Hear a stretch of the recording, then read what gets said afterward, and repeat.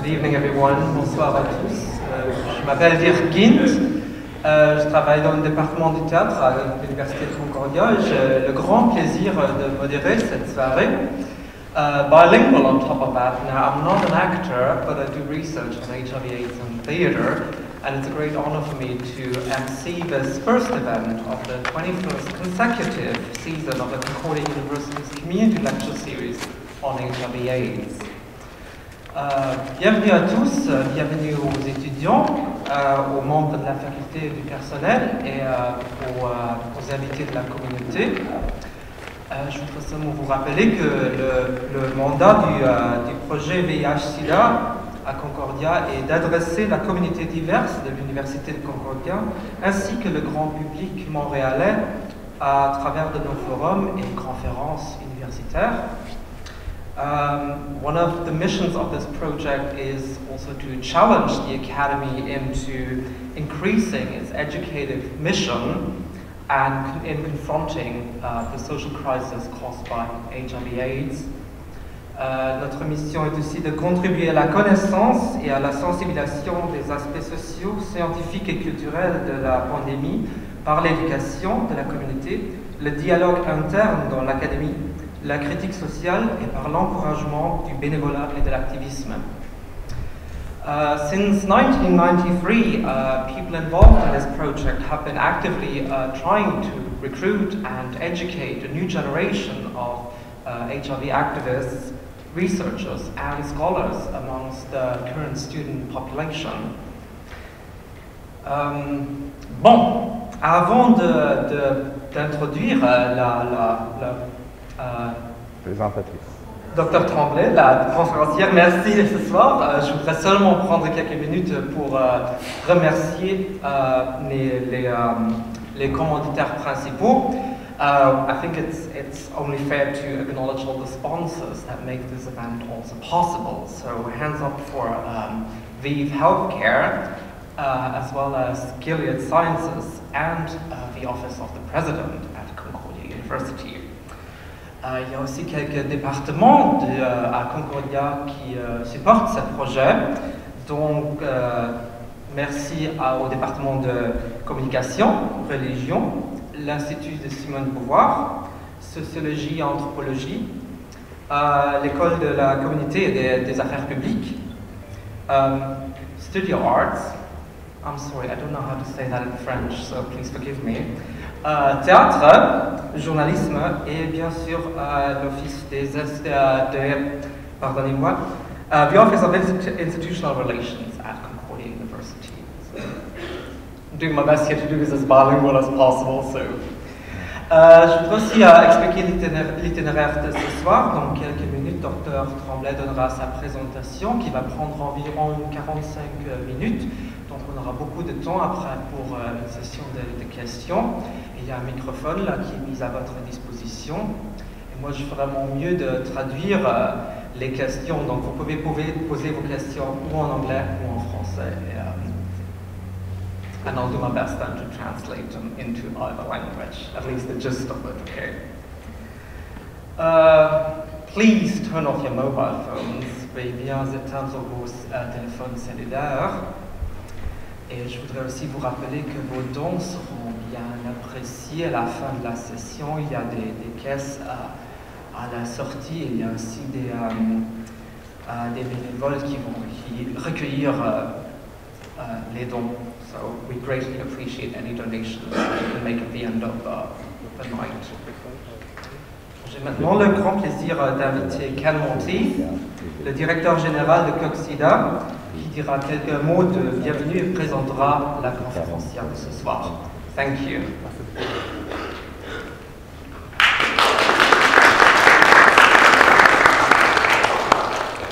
Bonsoir. Je ne vais même pas faire un effort en langue parce que je me suis préparé en, en français. Donc, c'est un, vraiment grand plaisir pour moi de présenter ces éléments. Euh, si je n'étais pas assez impressionné en arrivant, je viens d'apprendre quelque chose qui m'impressionne euh, encore plus. Euh, elle a eu euh, toute une autre carrière d'infirmière avant de se lancer dans ses études de, médecine. Donc, Elle a ensuite obtenu son diplôme de médecine à l'Université de Montréal en 1992 et a fait une résidence en microbiologie et maladies infectieuses à l'Université de Montréal, a été certifiée par le Collège des médecins du Canada en 1997.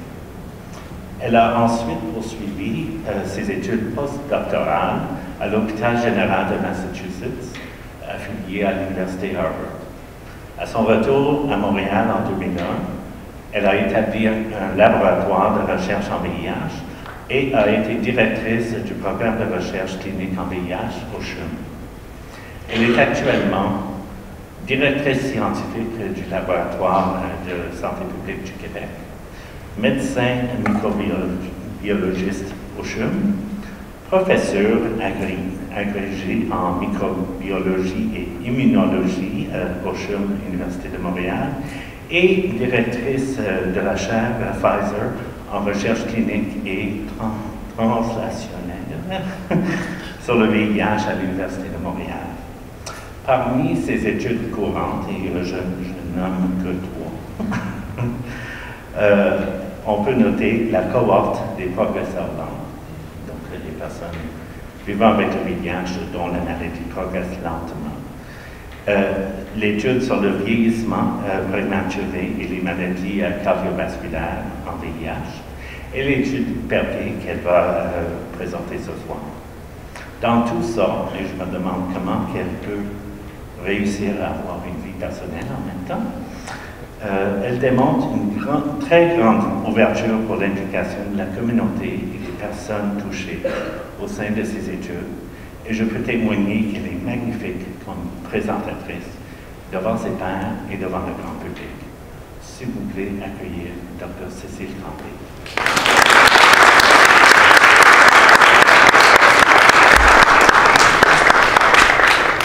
Alors bonsoir tout le monde, ça me fait vraiment plaisir d'être ici. On m'a demandé de présenter en français, les diapos vont être en anglais si vous avez besoin de suivi. Vous pouvez vous poser vos questions dans n'importe quelle langue. Euh, puis vous pouvez m'interrompre aussi. Il n'y a pas de problème avec ça. Oh!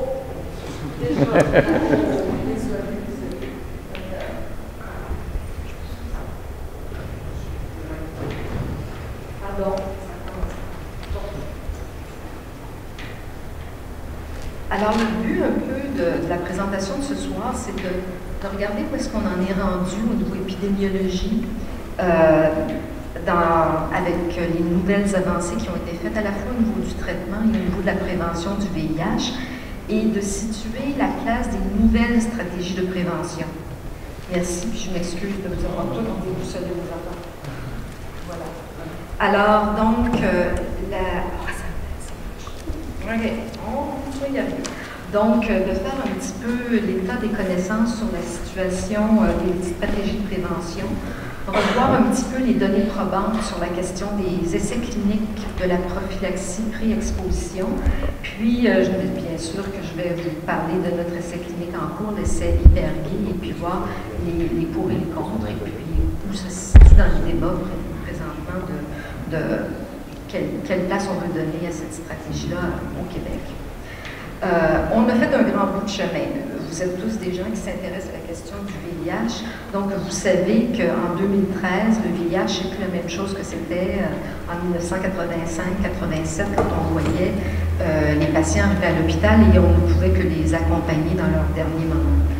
Vous voyez la liste des médicaments qui sont maintenant à notre disposition pour traiter les gens qui sont atteints de VIH. L'ensemble de ces médicaments-là se donnent dans des combinaisons de trithérapie grâce à ça, grâce surtout à la nouvelle génération de produits qui sont à notre disposition, on a changé complètement euh, la trajectoire des gens qui sont infectés. Maintenant, on parle de maladies chroniques avec une espérance de vie pour les gens atteints de VIH qui est similaire à quelqu'un qui serait atteint d'une autre maladie chronique, comme le diabète, maladie pulmonaire chronique. Donc, quelqu'un qui est diagnostiqué maintenant en 2013 et qui débute un traitement a un très bon pronostic de, vie en relativement bonne santé. Ceci dit, euh, malgré qu'on dit ça, puis malgré qu'on a fait de grandes avancées, il y a quand même 34 millions de personnes sur la planète qui vivent avec le VIH. Et même si on a fait des percées importantes avec les nouveaux médicaments sur les décès associés au sida, qui est la forme euh, avancée du VIH, il y a quand même 1,7 million de personnes qui meurent par année du sida. Et malgré tout, il y a encore 2,5 millions de nouvelles infections par année. Puis ces nouvelles infections-là ne se produisent pas uniquement en Afrique, dans les pays en voie de développement, mais il y a quand même, bon an, 51 000 personnes en Amérique du Nord de nouvelles infections par année. Si on regarde les chiffres au Québec, c'est à peu près 400 à 500 nouvelles infections par le VIH par année, malgré tout ce qu'on fait comme campagne de publicité stratégie de prévention, quoi que ce soit. Alors, ça doit nous questionner sur quoi d'autre on peut faire pour arriver à la fin de l'épidémie du sida. Clairement, on doit continuer à développer et à faire de la recherche à la fois dans les domaines de la prévention et dans les domaines du traitement pour en arriver à avoir des interventions encore plus efficaces qui vont vraiment permettre d'altérer le, le cours de la pandémie. Puis donc, ce qu'on va discuter ce soir, c'est un peu de ça. C'est quoi les nouvelles interventions, les nouvelles stratégies qu'on pourrait faire? Il y a déjà beaucoup de choses qui ont été documentées. On sait qu'ils fonctionnent pour prévenir la transmission du VIH. Puis là, c'est juste une liste de quelques approches qui sont prouvées fonctionner. Qu'on pense le condom. Si on porte le condom, euh, on ne transmettra pas le VIH. On va être protégé du VIH. Si la circoncision, par exemple, elle n'est peut-être pas écrite sur cette diapo-là, mais on sait qu'il y a un, effet protecteur assez important de la circoncision. Donc, il y a des, approches qui sont valables, mais qui sont difficiles à implémenter à, des échelles larges et qui sont difficiles à soutenir d'un point de vue individuel puis personnel à travers une vie, comme le port du condom systématique dans toujours des relations, puis penser tout le temps, d'être humain étant ce qu'il est, à un moment donné, c'est pas nécessairement intellectuellement, les gens peuvent savoir, oui, il faudrait que je le mette, mais il y a toutes sortes de circonstances, drogue, prise de, euh, ou bien donc juste euh, émotionnellement, qui va faire qu'on va baisser nos gardes.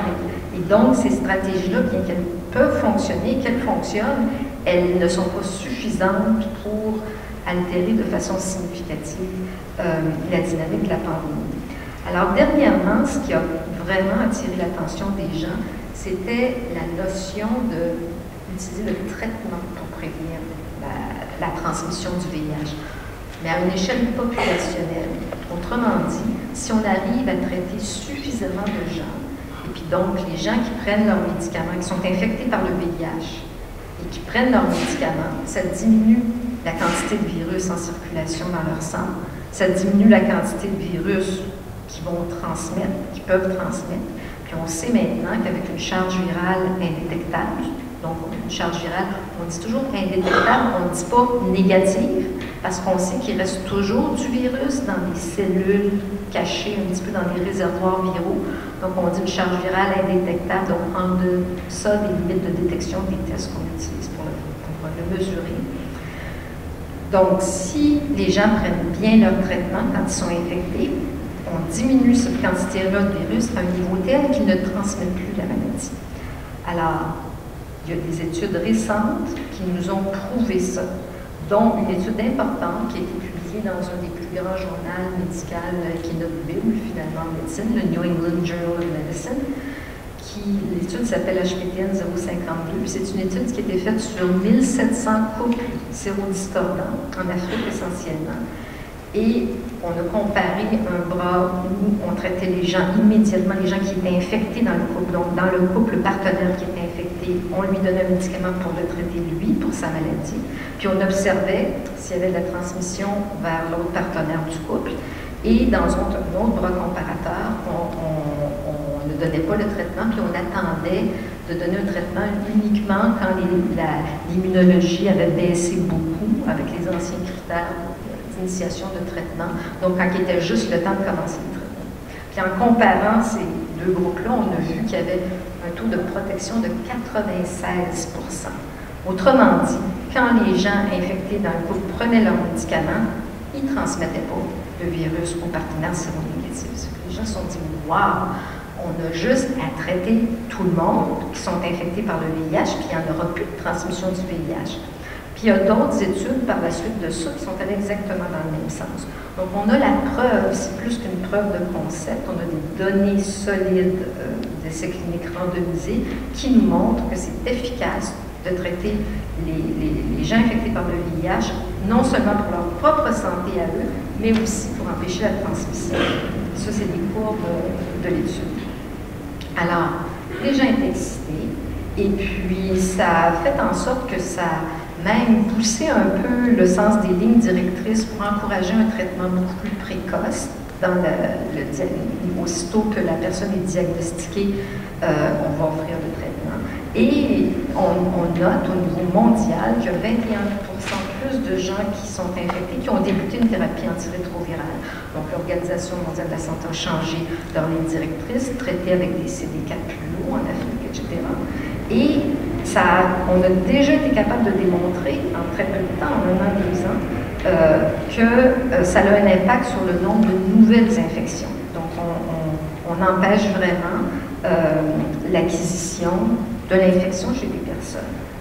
Mais, une fois qu'on a dit ça, et puis que c'est beau, puis on y croit, puis moi j'y crois beaucoup, et puis oui, on, on encourage ça, c'est quoi le problème? Le problème, c'est qu'il y a 20 des gens, à 80% des gens qui sont infectés, qui ne connaissent pas leur statut, qui ne sont pas diagnostiqués. Dans les pays industrialisés comme les nôtres, 80% des gens infectés connaissent leur statut, mais il reste 20% des gens infectés qui ne se sont jamais fait tester pour toutes sortes de raisons, qui ne le savent pas, euh, qui ont peur d'apprendre leurs résultats de leur statut. Dans les pays en voie de développement, juste 20% des gens infectés qui connaissent leur statut. Alors, si on ne connaît pas son statut, on ne peut pas recevoir un traitement. Alors, on est infecté par le VIH, puis on se promène avec une charge virale indétectable sans le savoir, puis donc on peut transmettre euh, l'infection, euh, euh, pas, par, pas méchanceté, il n'y a pas de question de morale là-dedans, les gens ne savent pas, puis bon, ça arrive. Alors, pour que la stratégie treatment as prevention, comme il l'appelle, le traitement pour la prévention fonctionne, il faut encore que les gens soient diagnostiqués, connaissent leur statut, et une fois qu'ils connaissent leur statut, il faut qu'ils se voient offrir le traitement. Alors là, c'est l'autre composant de la problématique, et ce, à quoi on réfère souvent, c'est comme, c'est quoi la cascade de soins?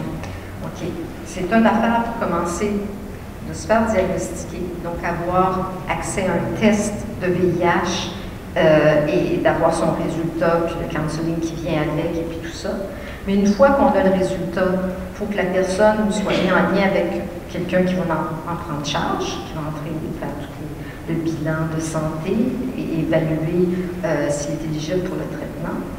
Une fois qu'il est pris en charge dans le système de santé, il faut qu'il reste dans le système de santé, il faut qu'il se rende à sa deuxième visite, à sa troisième visite, puis qu'il soit surpris des défis que ça représente particulièrement dans certaines populations plus vulnérables, euh, qui sont moins attachées au système de santé. Et dans les pays où les, infrastructures de santé sont absolument inexistantes, là, une fois qu'il reste dans le système de santé, il faut que quelqu'un y prescrive ces antirétroviraux, il faut qu'il les prenne, il faut qu'il les prenne de façon continue, puis il faut qu'il les prenne justement de façon à ce que sa charge virale devienne indétectable pour arriver au résultat souhaité, qui est d'avoir des gens que le traitement comme prévention, ça réussisse à, faire altérer la dynamique de l'épidémie. Donc, ces conditions-là soient tous OK. Alors, c'est quoi la réalité? Ça, c'est des chiffres aux États-Unis. Pour 100, 100 de personnes qui sont infectées, il y en a 79 donc 80% qui connaissent leur statut. De ces 80% là qui laissent pas des 80% De ça, il y a 59 qui, qui, à qui on les réfère à un médecin pour qu'ils soient investigués. Ensuite, il y a juste 40% qui se rendent à leur deuxième puis leur troisième visite. Hein? Les autres repartent en brume pour toutes sortes de raisons qui peuvent être, puis vous pourrez en discuter après, euh, toutes les conditions sociologiques qui peuvent faire que quelqu'un, dans le fond, il ne reste pas dans le système de santé. Après ça, ceux qu'on évalue qui ont vraiment besoin d'un traitement, il y en a 24 de ces 100 %-là, finalement, qui reçoivent le traitement antirétroviral. Puis de ceux-là, ceux qui réussissent à le prendre de façon régulière, correctement, puis complètement déroulent le traitement, bien, il y en a 19 qui atteignent une charge virale indétectable. Ça, c'est la vraie vie. comparativement au rêve de penser que traiter tout le monde enrayer l'épidémie du VIH. Donc oui, ça a le potentiel de pouvoir le faire, mais il faut répondre à chacune de ces questions-là pour pouvoir avoir le résultat voulu. Ça, c'est des données canadiennes qui ressemblent beaucoup aux données américaines, qui vont exactement dans le même sens. Donc, il faut changer cette équation-là. Ah, voilà. Euh, de la situation présente, il faudrait, pour avoir un effet sur, euh, sur la, pandémie, il faudrait qu'on arrive à ces proportions-là dans les différentes étapes de la cascade de soins. Donc, vous comprenez qu'en attendant qu'on arrive là, il faudrait peut-être avoir d'autres stratégies pour prévenir l'acquisition. Donc, il faut faire plusieurs choses en même temps. Alors, l'autre réponse facile, qu'on souhaite tous ardemment depuis 20 ans, c'est que ça nous prendra un vaccin. Si on avait un vaccin, on l'aurait l'affaire. Ce serait facile. Les vaccins sont extrêmement efficaces. On a enrayé la variole avec les vaccins. Pratiquement plus de rougeole sur la planète avec les vaccins. Les vaccins sont très efficaces et ils marchent. Et là, je mets mon chapeau de directrice du laboratoire de santé publique et faites-vous vacciner contre la grippe cet automne. Donc, les vaccins marchent. Mais le vaccin contre le VIH, c'est un défi. C'est un défi parce que le VIH, quel, genre de cellules qui, qui cible dans, le corps humain? Y en a-t-il quelqu'un qui est capable de me répondre à ça? Pour vous autres en allemand, vous autres, vous savez. C'est quoi sa cible cellulaire, le virus, quand il pénètre dans le corps humain? Hein? Exactement. Donc, des lymphocytes, CD4. Les cellules mêmes du corps humain qui sont en charge de nous défendre contre les virus. il attaque la cellule qui est supposée de le combattre. Puis très efficace à l'attaquer. Donc, le défi de, de, développer un vaccin contre le VIH, c'est de stimuler le système immunitaire suffisamment pour qu'il devienne efficace pour éliminer le virus, mais le virus lui-même attaque le chef d'orchestre du système immunitaire, qui est le lymphocyte CD4. Donc, on a eu un gros succès à date, malgré qu'il y a des efforts et puis qu'il y a du renouveau qui nous permettent d'avoir espoir qu'on va y arriver un jour, mais c'était un défi majeur. Et cette année encore, il y a eu un dernier essai clinique vaccinal qui s'est avéré un échec, où on essayait une autre euh, stratégie vaccinale avec deux sortes de vaccins combinés mais ça n'a pas marché. Puis encore une fois, il y avait eu plus d'infections dans le bras vacciné que dans le bras non vacciné. Donc, ça, c'est vraiment pas bon, ça ne marche pas. Il y a eu un essai vaccinal qui a montré des résultats encourageants il y a une couple d'années, avec un taux de protection de 30 de séminime ou séminime, mais c'était la première fois qu'il y avait enfin un vaccin qui montrait un petit peu de protection. L'intérêt de ça, c'est qu'une fois que tu as un peu de protection, là au moins, tu peux aller analyser c'est quoi les corrélats de la protection immune. Là, tu peux dire, OK, chez les gens que ça a protégé, qu'est-ce qu'il y avait de bon dans ce vaccin-là? Qu'est-ce que ça stimulait dans leur système immunitaire pour après ça dessiner des meilleurs vaccins en, en misant sur les forces de ce vaccin-là? Donc, c'est pour ça que je dis que encourageante. Moi, j'ai bon espoir qu'on va arriver un jour à développer un vaccin, mais ça ne sera pas demain la veille. En fait, on retourne à nos modèles animaux, puis on essaie de nouvelles stratégies complètement différentes en termes de vaccins. Euh, que ce soit, on essaye de modeler avec des, anticorps qu'on a identifiés, qui étaient capables de neutraliser le virus de façon assez large. Donc, on essaie de, de bâtir un vaccin à travers ces modèles-là. Puis on essaie d'autres stratégies, comme une qui est très intéressante, qui est euh, une stratégie où on essaie plutôt que de stimuler le système immunitaire, on essaie de, l'endormir, de le rendre tolérant. Parce qu'une des hypothèses, c'est que le virus aime beaucoup infecter des cellules très activées. Quand on donne des vaccins qui activent le système immunitaire, c'est comme si on le met dans un terrain de jeu. Alors, les gens essayent par une autre approche. Et puis, euh, il y a des résultats très intéressants chez les qui est le modèle qu'on utilise pour évaluer les vaccins, avec une stratégie comme ça qui a montré une protection de 15 sur 16 habitants infectés. Donc, ça va aller en essai clinique de phase 1, de phase 2 dans la prochaine année. Ceci dit, entre une bonne idée et un produit final, ça prend 5 à 10 ans. Donc, c'est pour ça qu'on dit que ce n'est pas demain la veille. Alors, quelle autre stratégie on peut penser pour, euh, en attendant que toutes ces stratégies-là marchent? Un espoir qui est encore très, très profond et très ancré et très pertinent, c'est d'arriver avec une stratégie de guérison de la maladie chez les personnes qui vivent avec le VIH. Les personnes qui vivent avec le VIH nous demandent, avec raison, parce qu'on nous dit qu'il y avait 34 millions de personnes qui vivent avec le VIH. Que c'est beau prévenir ceux qui sont négatifs, mais si on réussissait à enrayer, la maladie ceux qui sont positifs, on, on ferait un bon bout de chemin. Il y a de l'espoir ces dernières années parce qu'il y a eu des nouvelles approches qui euh, nous permettent de croire que peut-être on pourrait y. Un, des entraves à éradiquer le virus du corps humain, c'est qu'il va se cacher dans les sous-populations de ces fameux lymphocytes TCD4, mais qui sont les lymphocytes mémoire. Donc, quand on faisait, quand vous autres, vous avez tous été vaccinés contre tout quand vous étiez petits, dans mon temps, c'était pas nécessairement le cas. On attrapait la rougeole, puis on attrapait la varicelle. Qu'est-ce qu'il y avait de bon d'attraper la varicelle, à part d'être picoté un petit peu partout, puis ça piquait, puis on se mettait de la crème de calamine sur le corps? C'était que les lymphocytes du système immunitaire avaient vu l'antigène, développer une mémoire immunologique et allaient se cacher et se euh, retourner dans un stade de dormance pour que plus tard, 10 ans plus tard, 15 ans plus tard, quand le même antigène recircule, quand on a un autre contact avec la même bébite, il se réveille, puis là, tout de suite, il va l'attaquer. C'est les, lymphocytes mémoire. Donc, euh, le VIH se cache dans ces lymphocytes-là. Ça, c'est pas très aidant. Et puis, comme ces cellules-là sont au repos complet, le, système immunitaire ne les voit pas, même si elles sont infectées. Alors, c'est eux autres qui perpétuent l'infection à l'intérieur du corps humain, puis on n'arrive pas à s'en débarrasser avec les médicaments qu'on a présentement. Et là, il y a eu cette année deux, deux bonnes nouvelles. Première bonne nouvelle, vous avez probablement vu ça dans les journaux au printemps, c'est l'annonce de ce petit bébé-là qui a été traité aux États-Unis et puis qui était né d'une mère séropositive mais qui ne connaissait pas son statut. Pendant le, travail de l'accouchement, on la diagnostique VIH euh, positive. Pas le temps de donner des antirétroviraux à la mère, le bébé arrive. Et puis là, à peu près 24 heures après que le bébé soit venu au monde, on commence à lui donner des antirétroviraux. Donc, on traite le bébé pendant 18 mois, puis après 18 mois, sa charge virale devient indétectable, il est bien traité. Puis après 18 mois, la maman euh, l'enlève du système de soins, comme ça arrive, votre cascade de soins que, je vous parlais tantôt, ben, elle a droppé. Puis elle a fait dropper le bébé du système de soins aussi. Puis traitement pour le bébé. Finalement, il la retrouve trois mois plus tard, quatre mois plus tard. Il mesure le virus chez le bébé, pas de virus.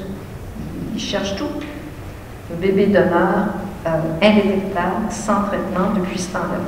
Donc, on parle d'une guérison chez ce bébé-là.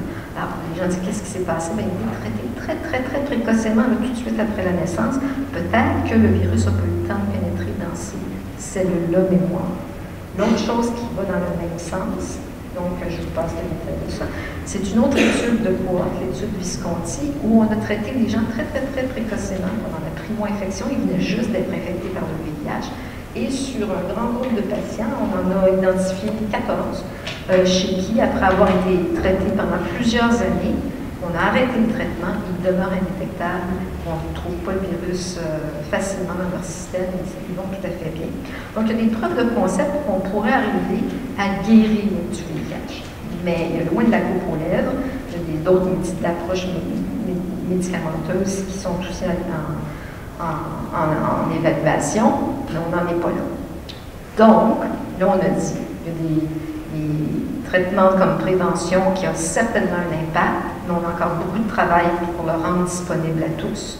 On a dit que les approches de prévention traditionnelles comme le condom, la circoncision, toutes sortes d'autres approches, la réduction des méfaits chez les usagers de drogues intraveineuses, ont donné des seringues propres, des choses comme ça, on sait sont très efficaces, mais pas suffisantes pour, pour avoir cet effet-là dramatique.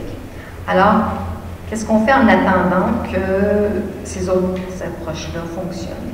Donc, il y a des gens qui ont pensé, pourquoi pas donner un médicament aux gens non infectés qui sont à risque de l'attraper en prophylaxie pré-exposition. Alors, il y a eu plusieurs essais cliniques qui ont regardé ces, stratégies-là. Ces essais-là sont dans différentes populations et sous différentes formes qu'elles ont été euh, euh, conduites. Euh, l'étude qui a pris ça, c'était une étude de prophylaxie pré-exposition, mais avec un gel intravaginal pour lequel il y avait un médicament. Et puis je vous parle de celle-là parce qu'il y a quelque chose d'intéressant là-dedans. Les résultats ont été présentés il y a deux ans et demi, peut-être trois ans, trois moins trois ans, euh, dans la conférence internationale sur le sida. Et ça faisait plusieurs années que essayaient de faire des gels vaginales, des microbicides pour empêcher la transmission, ça ne marchait jamais, même il faut se. Et là, pour la première fois, il y a un résultat de protection de 40% Il y a eu un standing ovation dans la salle. D'habitude, les scientifiques, là, c'est pas Jojo, là, ça ne se met pas à. Hein. Euh, mais là, là, le monde était en extase. Suite à ça, on n'a pas vu des gels de, de se distribuer à l'échelle planétaire, hein, parce que les gens ont dit ça c'est beau, c'est une belle preuve de concept. Et puis on sait que ça peut marcher, donc on va l'améliorer pour avoir une, belle protection. Puis il y a même eu d'autres études qui n'ont pas montré des effets aussi bons que ça. Donc ça prouvait qu'il fallait optimiser ça, soit par des produits différents, mettre dans le gel, ou toutes sortes d'autres formes, puis on va y revenir à la fin.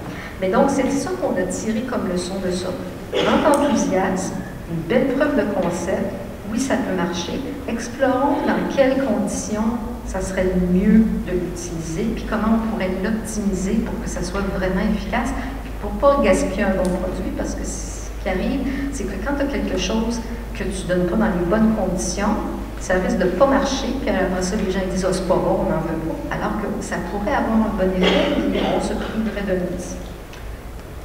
Fermons la parenthèse là-dessus pour arriver aux essais cliniques de prophylaxie pré-exposition en pilule? Le premier qui a été fait et publié dans le New England Journal of Medicine, c'est le ICREX. C'était l'étude qui a été faite chez des hommes gays, euh, essentiellement en Amérique du Nord, ah, du Sud surtout, et un peu en Amérique du Nord et un petit peu euh, en Asie. Euh, donc, il y a une bonne taille d'échantillon, 2499 participants. Et ce que l'étude a montré, c'est que donc il y avait un bras qui prenait le médicament de façon continue, de gens euh, qui sont séronégatifs, et l'autre bras qui prenait un placebo. Dans les deux bras, il y avait du counseling qui était fait, des condoms qui étaient distribués, donc vraiment on essayait d'encourager les gens et de les accompagner pour avoir des pratiques sexuelles sécuritaires, mais c'était égal dans les deux bras. Donc l'effet euh, perçu et l'effet supplémentaires attribuables juste aux médicaments. Une bonne étude contrôlée. Alors, qu'est-ce que ça nous donne comme résultat? C'est un taux de protection de 42% overall, sur toute la cohorte. Encore une fois, les gens étaient super excités et contents de ça parce que c'était une preuve de concept que ça peut marcher. On est allé plus loin un petit peu pour regarder, et puis ça va être le fil conducteur de ce que je vais vous dire dans tout le reste de la présentation c'est que 42% c'est quand même pas le pire. 42 Alors, qu'est-ce qui était euh, le corrélat d'une bonne protection? Alors, les gens se sont rendus compte que c'était extrêmement relié à l'adhérence au traitement. Donc, c'est pas si facile que ça de prendre une pilule à tous les jours pour le restant de ta vie. Y en a-tu chez vous, en vous autres, qui a, pris, euh, qui a à prendre des antibiotiques récemment pour, euh, je sais pas, une infection Avez-vous fini votre 7 jours de pilule? À Volfenay. Hein? On fera un vote, là, et puis 4 mois, je vais être méchant. 70% des gens finiront même pas leurs 7 jours parce qu'après 3 jours, ils vont se sentir mieux puis ils voudront plus prendre des pilules. Alors là, on parle de, du qui sont en santé, qui vont bien, puis là, il faut qu'ils prennent une pilule à tous les jours pour le restant de leur jour. Bon, on sait que la pilule anticonceptionnelle, on la prend quand, parce que a le bébé qui s'en vient de suite si on ne la prend pas une motivation un petit peu plus élevée. Mais c'est très rare dans les conditions où les gens qui sont appelés à prendre des médicaments tous les jours le font.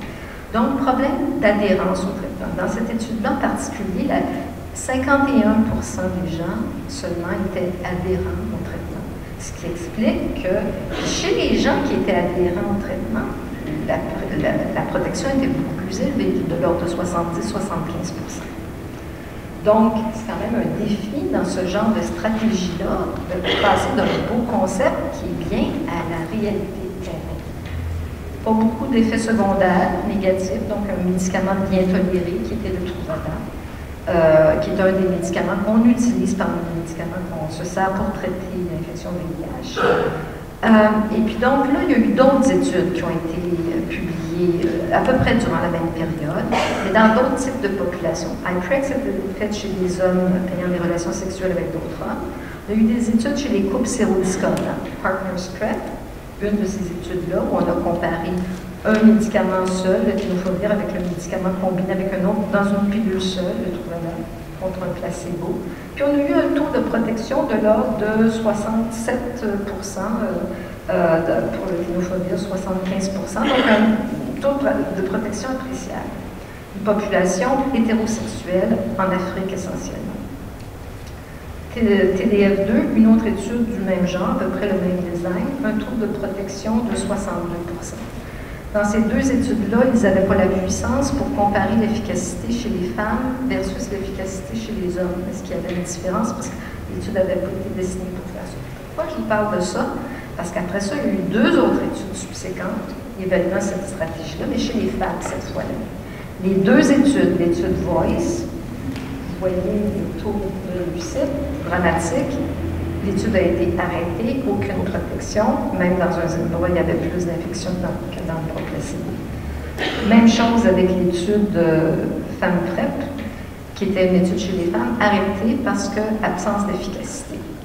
Donc on voit qu'on n'a pas encore la clé magique pour savoir dans quelles circonstances ce type de prophylaxie pré-exposition-là est efficace peut marcher, puis qu'on peut donner avec confiance à quelqu'un, puis en lui disant, ben, si tu le prends, tu vas être vraiment protégé. Deux aspects chez ces études, chez les femmes-là, ils avaient un problème d'adhérence très important, euh, mais en plus de ça, il y avait un problème de pharmacocinétique. Le médicament se métabolise pas de la même façon chez les femmes que chez les hommes, si bien que dans les sécrétions vaginales, il y a des concentrations beaucoup plus faibles de médicaments. Donc, c'est des choses qui sont importantes de savoir avant de déployer une stratégie euh, universelle pour dire Ah, oh, c'est la pilule magique, prenez ça, vous allez à vos party, vous n'aurez plus de problème. il y a une responsabilité quand on fait du counseling aux, gens, puis quand on prescrit, de, s'assurer que les gens comprennent bien euh, l'efficacité de ce qu'on leur prescrit. Donc, ça pose des questions. Euh, on sait que l'adhérence est clé là-dedans. Euh, les questions de pénétration dans différents tissus, vaginal versus rectal, euh, tout ce qui peut euh, influencer. Et, finalement, il y a eu une dernière étude publiée cet été qui a regardé la prophylaxie pré-exposition chez les usagers de drogue intraveineuse à Bangkok et qui a montré une efficacité d'à peu près 49% dans un programme qui disait qu'ils administraient le médicament sous thérapie observée directement thérapie observée directement, puis 49 d'efficacité, c'est pas pire. Alors, malgré ça, ce qui est à mon étonnement, puis vous me direz ce que vous en pensez après. Euh, euh, suite à ces études-là, il y a eu une recommandation du CDC d'offrir la prophylaxie pré-exposition euh, comme une stratégie aux gens qui sont à haut risque. Bien sûr, il ça avec un accompagnement serré, donc des visites régulières et du counseling, etc. Mais ils sont allés de l'avant avec recommander ça euh, à peu près dans toutes les populations et même cet été, ils ont rajouté dans la population des usagers de drogue intraveineuse. Le FDA a approuvé le Truvada, ce médicament-là, pour euh, les fins de prophylaxie, pré-exposition euh, administrée de façon continue, comme il était fait dans ces études-là. Or, nous, ce qui nous frappe là-dedans, et au Canada, le, le n'a pas d'indication euh, du, fédéral pour, euh, je vais la reformuler autrement, euh, n'est pas approuvé pour cette indication-là.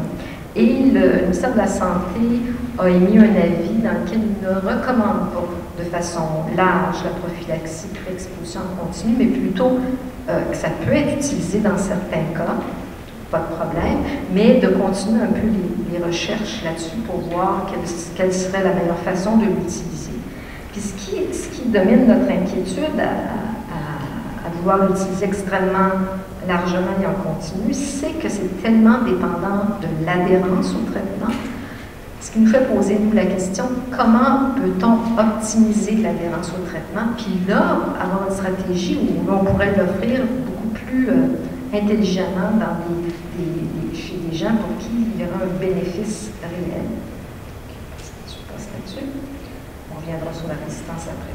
Donc, les, la comme je vous disais, et le CDC, donc leurs recommandations, euh, et incluant celle de cet été où, où ils recommandent. Alors, on on se dit, euh, peut-on optimiser l'adhérence au traitement puis le rendre encore plus efficace? Et euh, est-ce que c'est bon dans toutes les populations de la même façon? Chez le discordant, les études étaient plus puissantes, plus favorables. Chez les femmes, pas très fort. Les, hommes ayant une relation sexuelle avec d'autres hommes, très variable selon, selon au traitement. Alors, c'est pour ça que l'étude que euh, met de l'avant présentement, qui s'appelle l'étude Hypergay.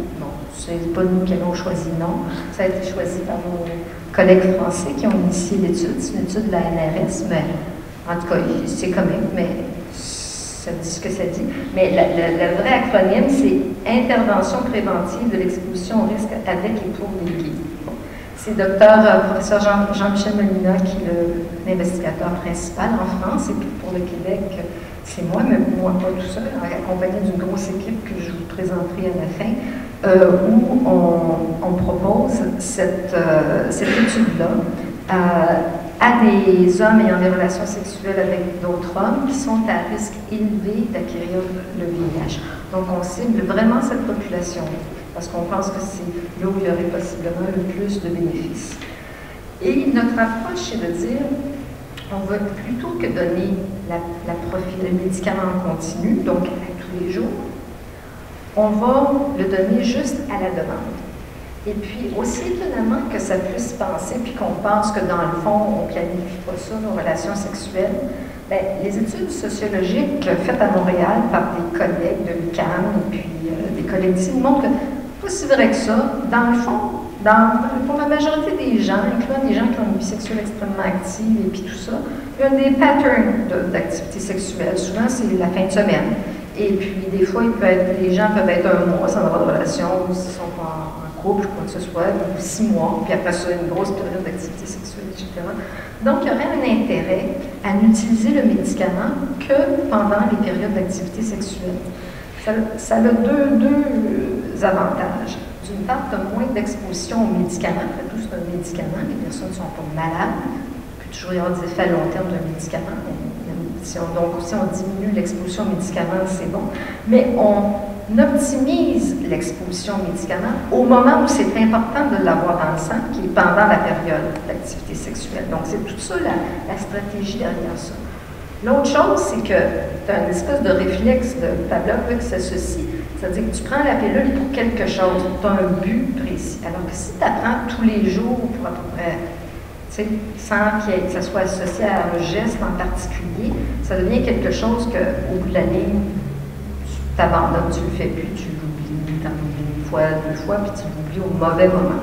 Alors là, on associe la prise du médicament directement avec la période de, relations sexuelles dans un schéma que je vais vous présenter. Et puis, on espère qu'en faisant ça, on va maximiser l'adhérence au traitement, qu'on va avoir des taux d'efficacité qui se rapprochent des taux d'efficacité qui sont peut-être meilleurs que les taux d'efficacité qu'on a vus dans les essais cliniques chez les gens qui étaient très adhérents au traitement, qui étaient la minorité des gens dans cette étude-là.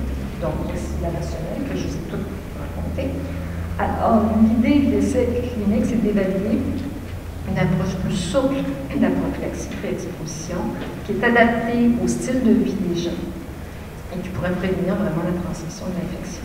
Donc, c'est une étude multicentrique, randomisée, avec bras placebo. Bon, les gens vont nous poser la question, et Dieu sait qu'ils nous la posent, pourquoi un bras placebo? Vous avez vu une preuve de concept que la donnée en continu, ça peut marcher. Pourquoi vous ne comparez pas la donnée en continu versus la donnée à la demande? Deux raisons. C'est qu'on n'a pas encore démontré qu'à la demande, ça avait vraiment un bénéfice. Puis la meilleure façon de le démontrer, c'est comme un bras placebo. C'est contre un bras, placebo, parce qu'un bras placebo, ça te permet d'éliminer tous les autres confondants, comme on a dit tantôt. On fait le même counseling, on, fait, on distribue les condoms également dans les gens qui sont dans les deux groupes. Puis l'effet qui reste, c'est uniquement dû à l'effet de ce que tu donnes de plus dans un groupe versus l'autre groupe. Si tu veux démontrer une différence d'efficacité de, de, deux produits, de deux approches, qui les deux ont une certaine efficacité, ça prend une taille d'échantillon, vous apprenez ça dans vos cours de statistiques, énorme pour pouvoir voir la différence entre les deux, ce qui est impossible à obtenir pour ce type d'essai clinique-là. Donc, on opte pour la façon la plus rigoureuse et la meilleure façon de démontrer qu'il y a une efficacité. Ce serait différent si on disait la PrEP en continu, ça marche à 95% des cas. Puis là, on veut essayer un autre modèle, la, la PrEP en demande. Là, ça serait un peu gênant de ne pas donner la PrEP en continu comme dans le bras contrôle parce que c'est tellement clair que c'est efficace. Mais quand les études nous montrent 44% d'efficacité, c'est pas suffisant pour dire que ça devient le gold standard contre lequel il faut comparer une nouvelle stratégie. Donc, dans cette étude-là, on a choisi consciemment, et on l'a vu, un bras placebo pour nous permettre d'avoir des résultats les plus probants, les plus rigoureux et qui va vraiment dire si ça marche ou si ça marche pas. L'étude se passe en France, le but et au Québec, et le but c'est de recruter, initialement le but c'était de recruter 1900 patients les chiffres sont en train d'être révisés à cause de, on mesure l'incidence. Et puis, probablement que l'étude va pouvoir se faire avec un nombre de patients moins élevé, autour de 800 patients. Donc, on vise une centaine de patients au Québec euh, dans la première phase de l'étude et éventuellement peut-être jusqu'à 300 euh, dans la phase, incluant la deuxième phase de l'étude. Et on s'adresse à des gens qui, sont à haut risque de l'infection. Donc, à haut risque, pour nous, ça veut dire des gens qui ont plus que deux partenaires qui sont fréquentés 100 utilisé de condom dans les derniers six mois. Donc, les gens qui sont en relation stable avec un partenaire et qui utilisent toujours le condom ne sont pas éligibles à l'étude parce que, dans le fond, ils n'ont pas besoin d'études parce qu'ils utilisent déjà des pratiques sexuelles sécuritaires. Alors, on cherche vraiment à cibler cette population-là. Le schéma d'administration, c'est que les gens vont prendre deux comprimés dans les 24 heures qui précèdent l'activité sexuelle et là, pendant toute la période d'activité sexuelle, ils vont prendre la pilule une fois par jour. Et une dernière fois quand ils finissent la, période d'activité sexuelle. Et après ça, ils vont reprendre uniquement la prochaine fois qu'ils vont avoir une période d'activité sexuelle. C'est sûr que si la personne a du sexe à tous les jours, elle va le prendre en continu. Ça, c'est correct, ça fait partie de l'étude il n'y a pas de problème avec ça. Euh, mais dans la majorité des cas, ce ne sera pas le cas. Nos, études euh, préliminaires Donc, c'est un peu ça qui est distribué aussi aux, participants pour leur, indiquer un peu le schéma de participation. Chose extrêmement importante, en plus de la pilule, on fait un travail très, très serré avec chaque participant en termes de counseling, en termes d'accompagnement, en termes de testing, de dépistage des autres ITSS. On les voit aux deux mois là-dessus. Et en plus de ça, on leur offre des entretiens motivationnels avec des intervenants formés et euh, une ligne ouverte à laquelle ils peuvent appeler s'ils ont quelques questions, que ce soit, que ce soit en lien avec l'étude ou en lien avec leur vie personnelle ou quoi que ce soit. Donc, un accompagnement très, très proche. Et ça, ils reçoivent ça, peu importe dans quel bras d'études ils le sont. Donc, juste ça en soi, ça a un effet sur l'incidence du VIH. Donc, il y a une valeur ajoutée à participer à l'étude, peu importe dans quel bras on tombe, si on tombe dans le bras placebo, dans le bras euh, du médicament actif. Donc, la prophylaxie pré-exposition, à notre avis, a encore besoin d'être étudiée davantage. C'est pour ça qu'on fait cet essai clinique-là pour mieux euh, bien délimiter la niche dans laquelle elle, serait la plus efficace possible et elle, va s'ajouter finalement dans une gamme de stratégies euh, qui sont déjà euh, prouvées efficaces et, on est convaincu qu'il n'y a pas une approche unique qui va enrayer l'épidémie du VIH. Mais si on combine chacun de ces, chacune de ces approches-là euh, pour chaque individu, chaque population peut bénéficier plus ou moins de l'une ou l'autre de ces stratégies-là, globalement, on peut faire un impact majeur au point où, c'est vrai qu'on peut rêver d'une génération sans VIH dans la prochaine génération qui, nous suit. Clairement, la prévention se dirige de plus en plus vers un modèle médical que certaines personnes appellent, mais donc on parle de médicaments pour la prévention. Ça ne veut pas dire que, parce qu'on dit ça, puis parce qu'on donne des probandes, que le reste n'est pas important ou ne marche pas. Accompagner les gens pour les faire cheminer vers une approche pour prendre moins de risques dans leur vie de tous les jours, c'est fondamental. Et, tout ce qu'on fait dans ce sens-là contribue énormément.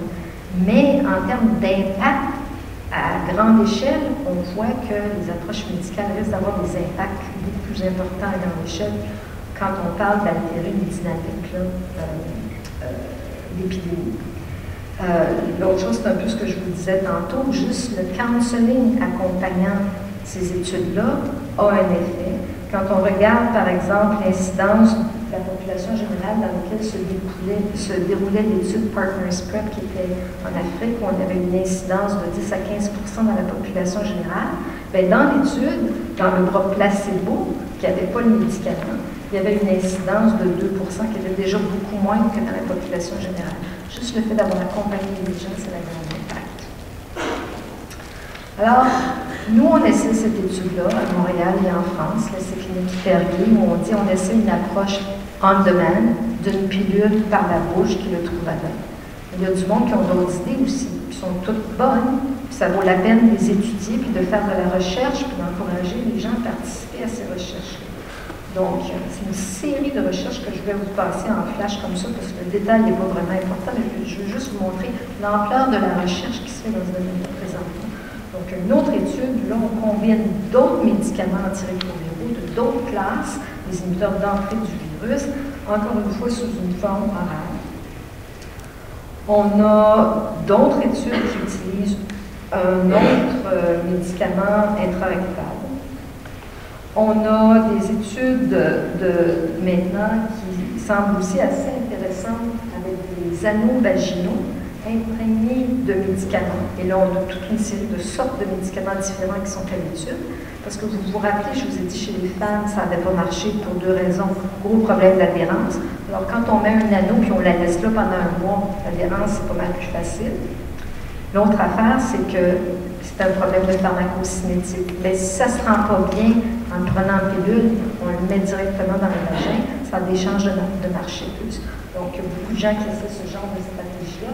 Là, je vous donne une liste de toutes sortes de produits qui sont évalués dans le contexte d'anneaux. Euh, il y a même d'autres stratégies d'utiliser ça sous la forme de film. Donc, encore une fois, on, essaie de trouver des méthodes qui vont améliorer l'adhérence, qui n'est pas juste la prise consciente du médicament, mais la, la, pharmacocinétique, la, la, délivrance du médicament à la place où ça doit être au moment au niveau rectal, donc pas juste penser au niveau vaginal. Euh, donc, il y a des produits qui sont euh, en évaluation présentement au niveau rectal. Et ce qui a suscité le plus de hype euh, au dernier coin, c'est les nouveaux médicaments à longue action, injectables, mais qui ont une demi-vie d'un mois. Et qui, sont, qui ont été évalués dans des modèles animaux et qui semblent avoir une protection assez fantastique qui sont maintenant en évaluation chez les humains, euh, à savoir de donner seul ou en combinaison avec d'autres classes d'antirétroviraux à longue action euh, dans un contexte de prophylaxie pré-exposition. Ça marche, a énormément de potentiel parce que, encore une fois, on contourne le problème d'adhérence, parce que là, une fois par mois, c'est relativement facile et puis ça dure longtemps. Euh, et puis, on a une bonne efficacité parce que la façon dont sont produits ces composés-là, c'est qu'ils se libèrent graduellement. Et puis, donc, il y a des niveaux constants dans le sang qui assurent que les niveaux sont suffisants pour protéger. Donc, euh, deux, trois produits très, très intéressants qui ont été évalués. Donc, je voulais vous laisser de temps pour les questions. Je pense qu'on va avoir du temps pour les questions. Qu'est-ce qu'on peut conclure de tout ça? La prophylaxie pré-exposition, ça peut marcher. On a des bonnes preuves de concept. Ça marche. Ça marche quand on le prend. Et le défi, c'est comment faire en sorte que les gens le prennent pour que le niveau sérique soit suffisant au moment où ils ont pour que ça les protège. Si on n'arrive pas à trouver une façon d'optimiser euh, cette prise-là, le risque, c'est qu'on va perdre une belle stratégie euh, parce qu'à un moment donné, les gens vont apprendre, ils vont apprendre tout croche, ça ne va pas marcher, ils vont s'infecter, puis là, ils vont dire Ah, ben ça ne marche pas cette stratégie-là, puis on la jette dans le. Alors que non, il y a du potentiel pour cette stratégie-là, mais c'est à nous à faire l'effort d'être innovateur, d'être créateur, d'être originaux, et puis de, trouver finalement quelle est la meilleure façon de le faire. Alors, je pense que je vais juste. Euh, euh, on a un site web pour euh, l'essai clinique Perrier. on a notre porte-parole et notre personne contact qui est assis ici en avant, Alexander, qui, qui, est la personne clé pour rejoindre si on veut plus de, de renseignements. Puis je voudrais remercier puis euh, une bonne reconnaissance à tout le monde qui sont impliqués dans l'étude. Euh, nos collègues de la France, donc Jean-Michel Molina, qui est l'investigateur principal, et Catherine Capitan, qui est vraiment la coordonnatrice de l'étude. Au Québec, on a une belle équipe, une équipe multi, euh, multisectorielle. Donc, on a des gens du communautaire, comme Ken disait tantôt, Robert Rousseau de Réseau des gens impliqués dans la recherche sociologique, euh, Joanna Tis avec euh, Thomas Egg. On a des fondamentalistes, euh, Dr. Mark Weinberg, que plusieurs d'entre vous ont vu à la télévision, dans différents, qui fait de la virologie euh, à McGill. On a des cliniciens, de, des médecins qui travaillent dans la clinique spécialisée du VIH, Jean Barry, Benoît Trottier, Bertrand Boucher, David Thompson du communautaire également, puis Gabriel qui est ici, qui est notre euh, pilier au niveau euh, sociologique, vient aussi avec la France. Euh, puis on a les coordonnatrices de l'étude qui sont à, mon institution au CHUM, où, on voit les, participants dans cette première phase de l'étude. Alors c'est un gros groupe de, gens, ça prend beaucoup d'applications pour faire une étude comme ça. Et puis, mais, mais c'est très valorisant quand on voit qu'on peut offrir euh, une stratégie à, des gens qui sont à risque, qui sont vulnérables, et puis qu'en les accompagnant là-dedans, on est capable peut-être de faire un changement pour eux, et éventuellement, si les résultats sont probants, de faire un changement pour l'ensemble de la communauté. Je vais prendre vos questions.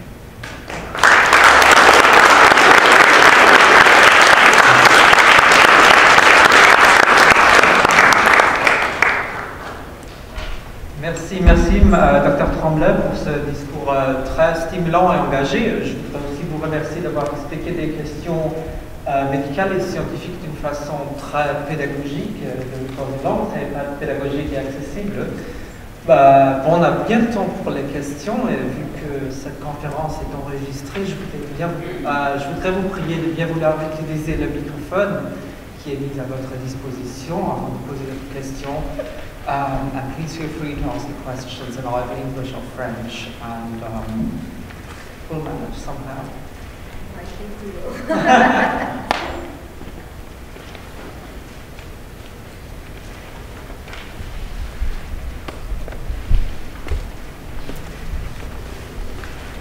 Yeah.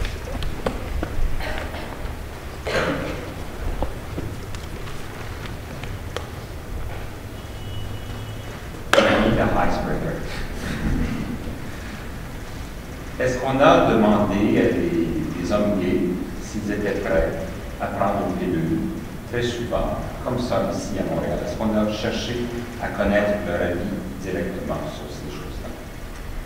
En fait, il y a eu, euh, euh, il y a eu quelques études de fait, entre autres, euh, mais pas, vraiment d'études systématiques, mais il y a eu un peu de sondage de, de terrain. Et, et, en réalité, il n'y avait pas une grande demande que ça pour prendre de la prophylaxie pré-exposition en continu. Je pense que les gens sont conscients de la lourdeur que ça représente. Ceci dit, euh, de plus en plus que de la publicité faite par rapport à ça, puis suite aux, aux avis qui ont été faits au niveau des États-Unis, ça commence à se connaître. Et puis il y a des gens qui se présentent dans les cliniques euh, pour euh, parler à leur médecin, puis leur demander un peu leur avis et puis tout ça. Mais on ne peut pas dire qu'il y a eu une, euh, une- Les gens se sont mis à courir après ça, puis même aux États-Unis, où ça a été, euh, ça fait maintenant un an que c'est recommandé par le CDC, puis euh, euh, le uptake de ça est, est- est pas énorme. Pas énorme.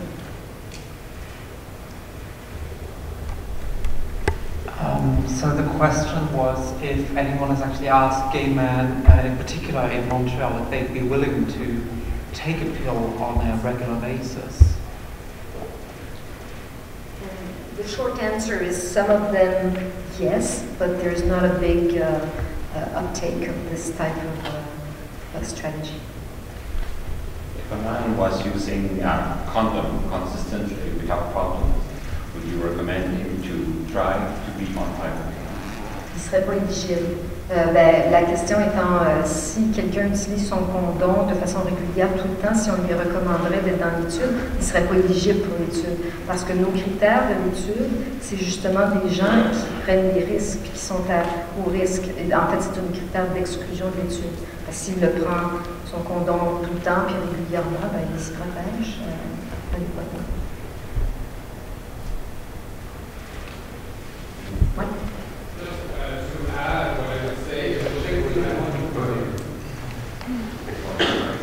sorry, to add to what to that answer, I would just say that there have been studies, fairly extensive studies done in England with gay men that do show that potentially they're interested. What's interesting is that I, if I recall correctly, I think in England about one half said they were they would find it more convenient to take on a daily basis, and the other half said that they might find it more convenient to take only on an episodic as needed basis. Um, there's a study that's beginning, I think the resonance study in Toronto um, out of the Hassle Free Clinic might look at this issue as well in terms of acceptability and potential uptake. And finally, um, I think at SPOT we have some indication with the use of PEP, which is higher than what maybe we had initially thought. Quite a few people at SPOT that have used PEP before and are knowledgeable about it. So it at least suggests that people are not opposed to the idea of using um, uh, antiretroviral therapy with a preventive uh, objective in mind. So I think the, ter- the terrain in the community is potentially fertile. Um, Just so that people know what you're talking about, PEP is post-exposure prophylaxis. So once you've had a contact, uh, very highly at-risk contact, you can be offered to take a drug for a month, like not one drug, but three drugs for a month to prevent acquisition of HIV. Donc euh, oui, il y a des gens qui, qui prennent la prophylaxie post-exposition. Ce qui est un peu différent parce que la prophylaxie post-exposition, c'est qu'il y a eu le contact, c'est comme la pilule du lendemain. Tu as eu le contact et puis là, es vraiment à risque, ça tu prends les médicaments et c'est efficace. Mais c'est trois semaines de temps et ça finit après. Donc, c'est pas pour le restant de ta vie à tous les jours. Donc, la- l'acceptabilité de la prophylaxie post-exposition euh, est un peu différente de l'acceptabilité d'une prophylaxie pré-exposition. Différent.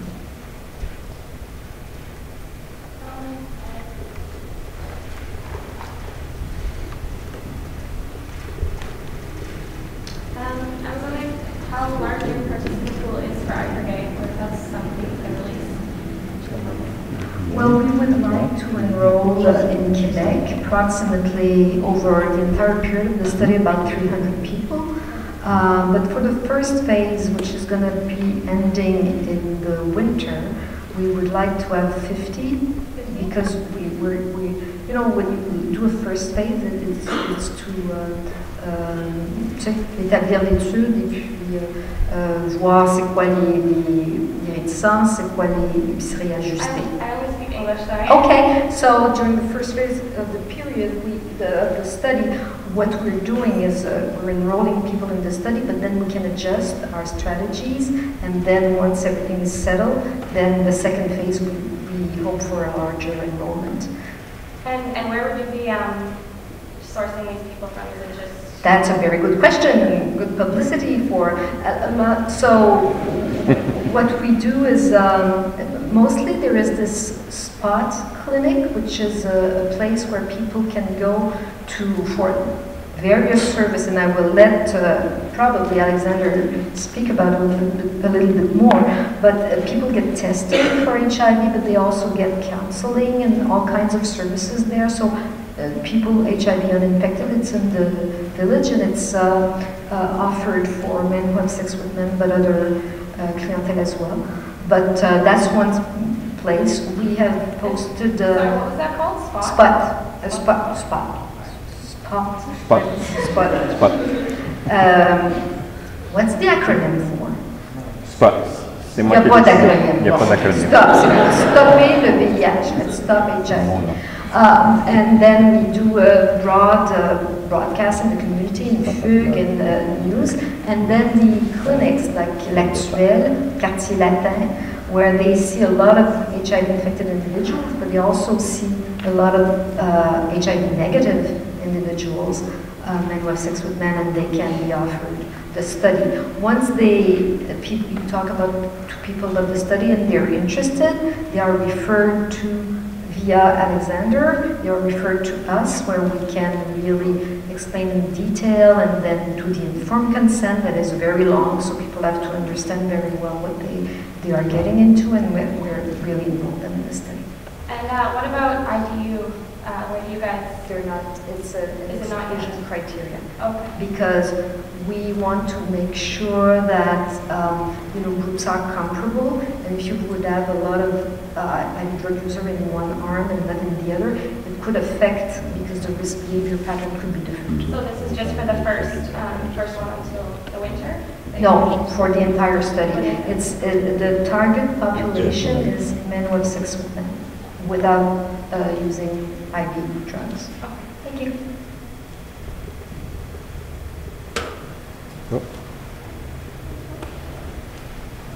Hi, thank you. Can you talk a little bit about the any ethical issues related to the use of placebos in the study? We talked about this in our class, and I'm wondering if it would be helpful for the students to know more about the considerations that you've taken around ethical issues Yeah, you know, it, it is the main uh, the main question uh, concerning this type of study. So usually. Um, whenever you want to evaluate the efficacy of something, whether it is a pill, a treatment for hypertension or whatever, um, you, you will come either, if it's never been evaluated before, you, you need to placebo because this is the only way you will really eliminate the biases that can occur if you for example, only give the medication to one group of people and then you see is it working or is it not working? Well, if you don't have a control group,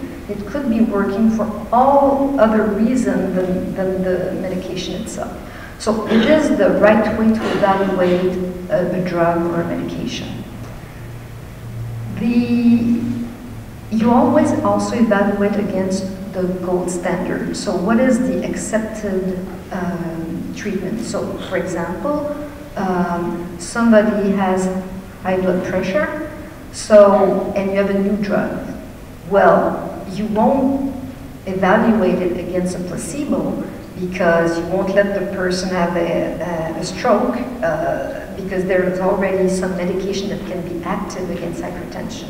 So in that case, you're going to evaluate the new drug against the gold standard, what's being used right now, and what you want to test is this new drug better than the other one or equal, non-inferior. That's how, how we say it.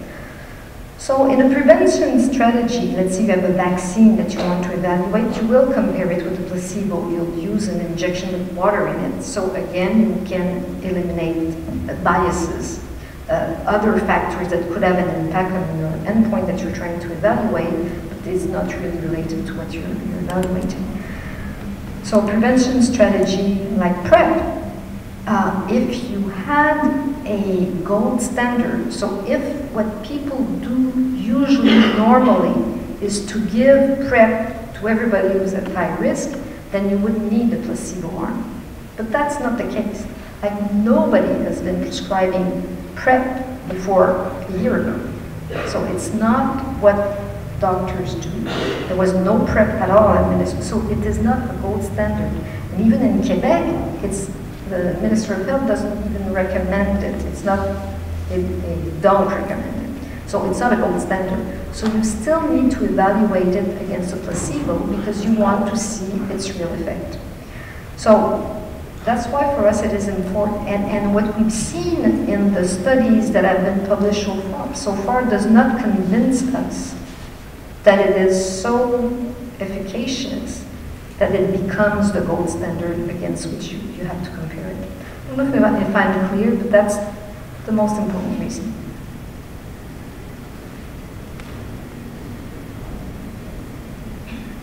Hi. Um, thanks a lot. It's been really, really useful. It was sort of good to get that all of that context and a lot of really complicated stuff mapped out so easily.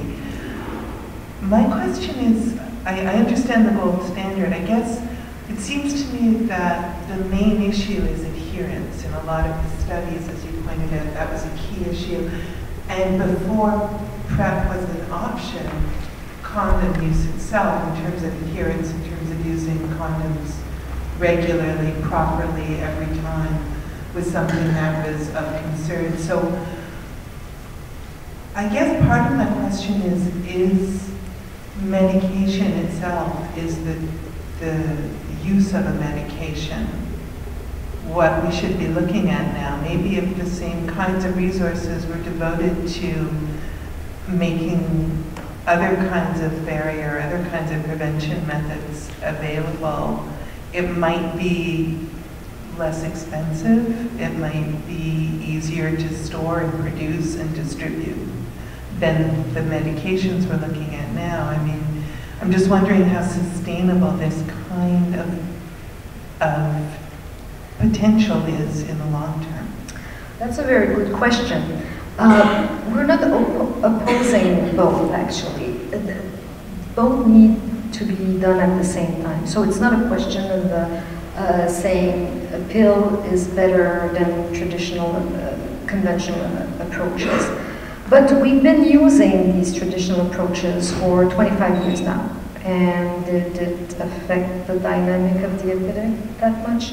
I know people don't like me when I say that. But in my opinion, on an individual basis, yes. But on the broad 34 million people, not really.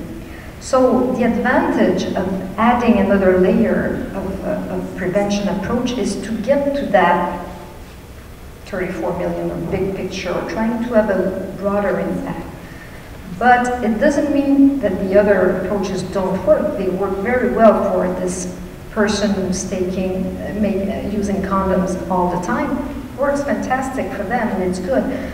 But behavioral, um, you guys know it more than me because you work in social science and everything. To change behavior is tough. It's actually about the toughest. And to change sexual behavior, it's tougher because it's very emotional, it's very hormonal, it's very all kind of not rational.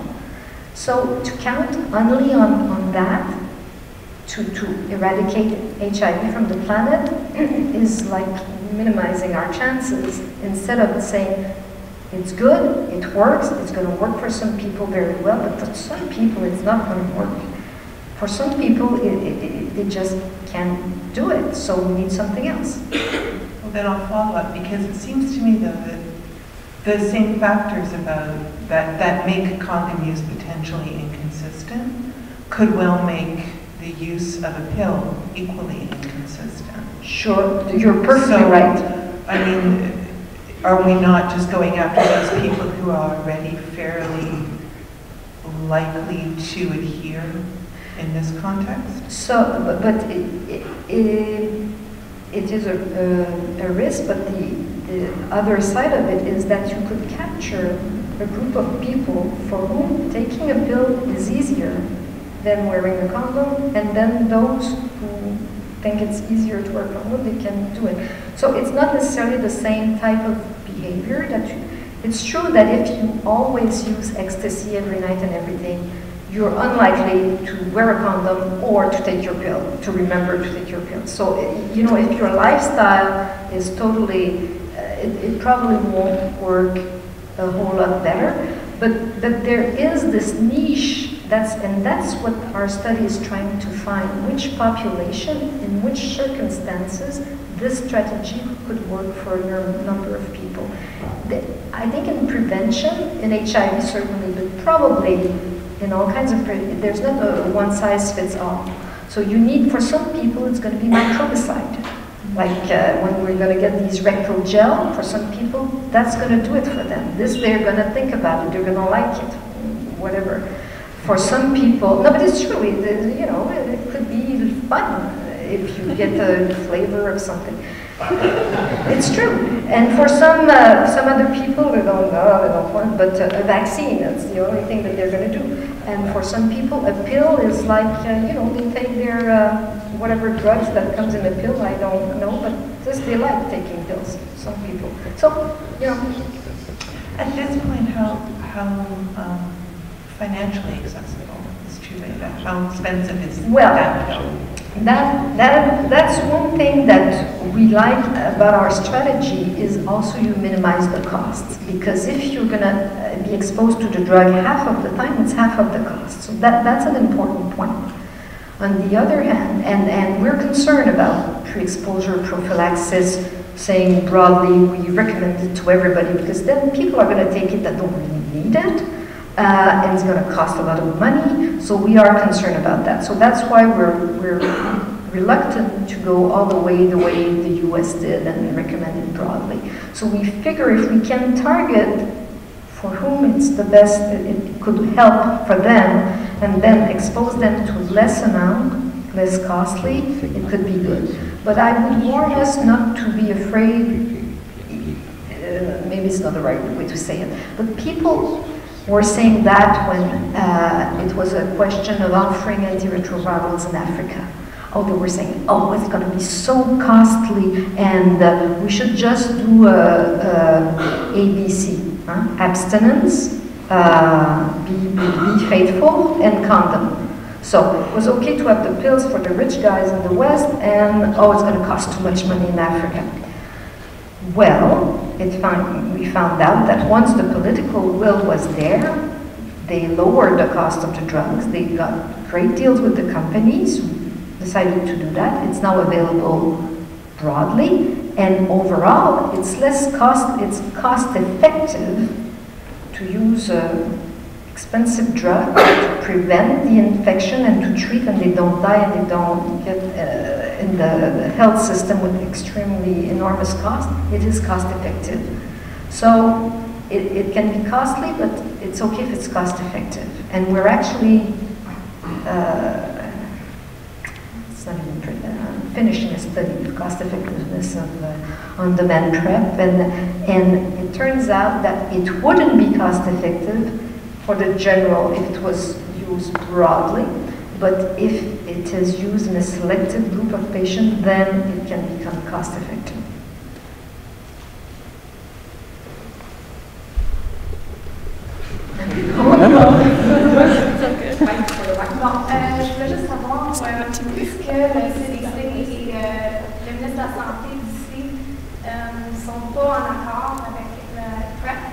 Euh, je voulais savoir, sont est-ce que les deux gouvernements, euh, ils sentent sur la même affaire? Est-ce qu'ils veulent tous les deux avoir la prévention du VIH ou est-ce qu'ils se centrent plus, mettons, le ministre de la Santé, est-ce qu'ils se centrent plus sur le traitement qui sont déjà atteints du, VIH? Euh, je pense que, comment c'est, pas le ministre, c'est le ministère, parce que je pense que le ministre est même pas au courant qu'ils sont. Non, mais je n'étais pas impliqué directement, je juste. C'est une, ils ont réuni un groupe d'experts qui ont demandé l'opinion. Et puis, euh, donc, suite à ce euh, groupe d'avis d'experts, ils ont émis cette opinion Tout le monde veut la prévention du VIH. C'est pas. Et puis, les gens sont, sont présentement, ce qui est intéressant en Amérique du Nord, c'est que, tout cas, les autorités de santé publique sont très ouvertes d'esprit sur ces questions-là, puis sont très progressistes. On a affaire à du monde qui n'ont pas de préjugés, euh, comme il y avait dans le temps, puis euh, tout ça. Donc, tout le monde veut de la prévention. C'est la question de comment tu interprètes les données que tu as et, comment, quelles ressources tu as à mettre à la disposition? Tu sais, aux États-Unis, euh, parfois, ils ont des ressources énormes. pas toujours. Nous, au Québec, on, on a peu de budget, on connaît ça. Fait qu'on a moins de ressources. Donc, il faut que tu sois sûr que tes ressources, tu les utilises au, bon endroit. L'autre chose, c'est qu'aux États-Unis, ils ont une particularité avec leur système de santé. Si le CDC ne recommande pas quelque chose, OK, donc c'est pas dans le, le DHHS, leur ligne directrice, il n'y a pas une compagnie d'assurance qui va rembourser quoi que ce soit, puis même pas Medicare, Medicaid. Ça fait qu'ils se sentaient un peu dans une situation où ils voulaient être sûrs que des gens qui bénéficieraient de cette stratégie-là, les gens les plus pauvres, des fois dans des milieux qui ont le moins accès à la fameuse cascade of care, qu'il y ait une directive quelconque qui donne le OK pour qu'il puisse y avoir des remboursements. Donc, ça a beaucoup motivé, ça a été important dans la prise de décision euh, du CDC et, aussi qu'ils y croyaient vraiment d'une politique très, très large et très, très vaste de ça. Mais donc, il n'y a pas de, vision différente au sujet qu'il faut mettre l'accent sur la prévention, mais c'est plutôt euh, comment on interprète la solidité des données sur ça en particulier, puis euh, quelle est la meilleure utilisation de nos ressources dans un contexte de ressources limitées.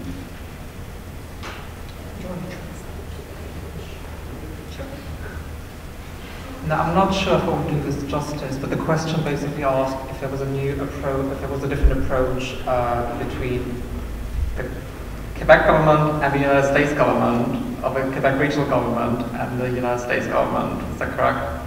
Yeah, like if uh, one would rather prevent HIV transmission or to just treat it when you're Yes, if there was a, diff, uh, a, a different approach to if it either stress prevention or treatment.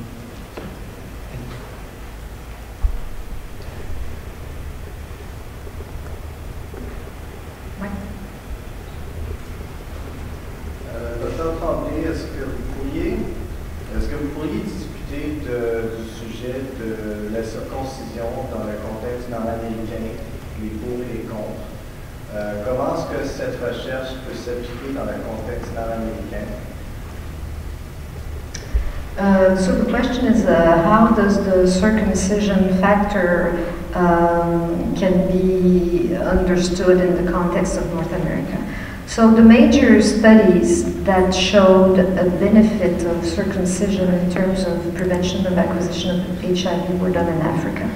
But major and huge studies. First three cohort studies, like thousands and thousands of people, that all showed uh, a benefit, and then a randomized control trial that showed a benefit.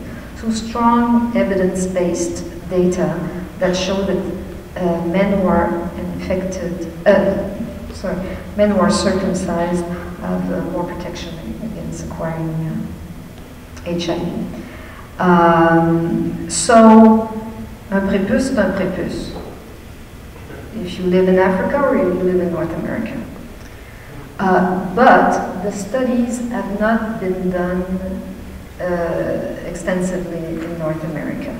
So one of the arguments that could uh, that people use to say that it uh, could be different in North America uh, is uh, not necessarily in North America, but it is because in North America the major part of the epidemic is in men who have sex with men, so it would be to say that, well, it might be different if you have a lot of rectal intercourse in terms of the relative protection. Is it as, as strong a protection? So the studies haven't been done like that. So we don't have evidence-based um, uh, data that shows that in men who have sex with men in North America, that the level of protection is the same as in, in Africa. So people can conclude whatever they want. Uh, usually the argument, uh, there is a, I mean, circumcision is, uh, is there's a lot of emotion around this. So it's not necessarily just a rational issue. People feel strongly about how they feel about their prepuce, which I don't know the word in English, but you can all translate that. So there, there is, a, so, Foreskin. you know, foreskin, that's it. Um, so, so, I mean, this uh, is tainting a little bit the opinions, and, but until we get hard, uh, solid randomized control trial, which we will never get uh, in North America, we won't know the answer for sure. Okay, but the data is extremely strong in Africa in uh, heterosexual cou- couples. Um, I was just wondering what your um, like operational definition would be of MSM. Uh, well, actually, we, we say uh, men who have s- sex with men, although the title, there was that discussion about the title of the, because we want to include all, all types of men who have sex with men, including transgender and bisexual. So are they then included in? Can they participate in the study as well? Can In, in what? can can like trans trans Yes, people participate yes. in the study? They are. Yeah. Okay. Yeah. Thank you. Hi, thanks again. I had two more questions about placebos. Um, so I'm wondering if there's been any, any consideration around whether participation in E4K will increase people's risk, pra- risk practices or risk taking because their assumption is that the pill will protect them. And what considerations will be taken for people who test positive for HIV who are in the placebo arm? of? Oh, two, two excellent questions, actually. I should, should have talked about it before.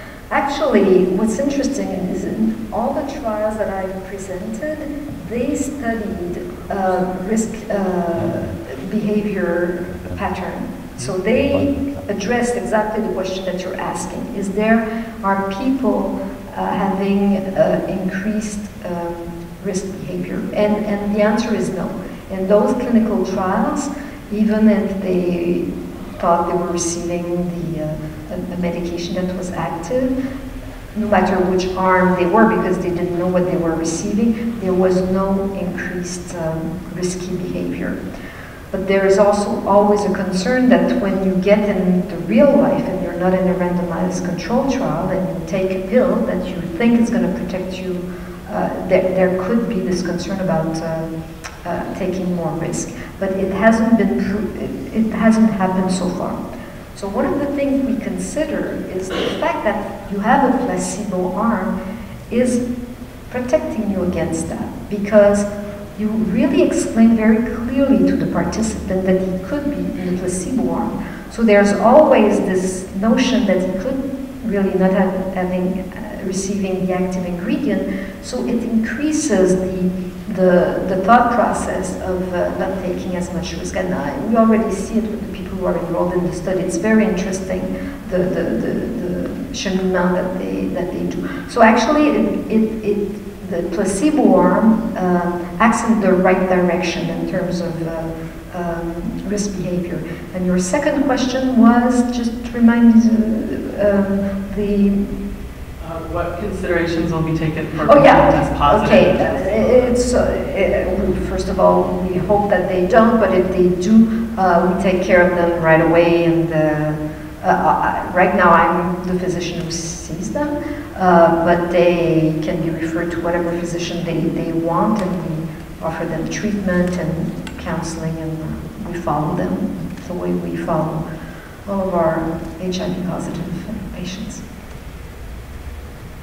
Um, well, taking into consideration cost effectiveness and the research that they're doing on vaccines, what do they feel is going to be anticipated with this vaccine? Will it be just given to the at-risk groups?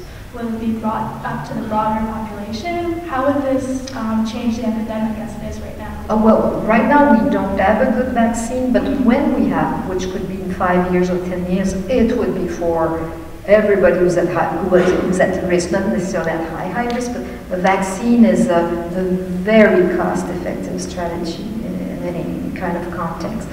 So uh, we will need to define the way we are going to propose it to uh, to people, but uh, and it depends on the quality of the vaccine.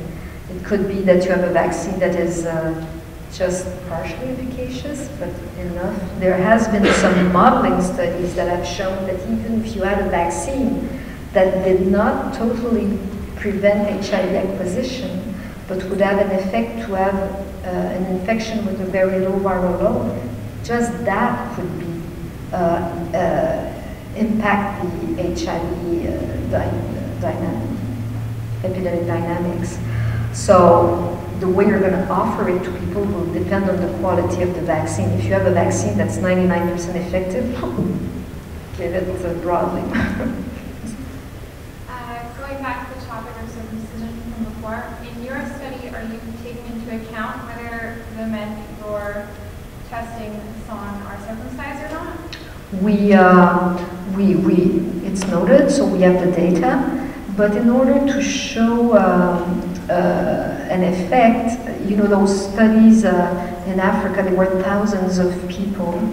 So I'm not sure we would have a sample size, and the study is not powered to address this question. But if there was a strong trend, we might see it. But what's, what's probably going to happen is our population is probably not circumcised all of them, we won't see. But we capture the data.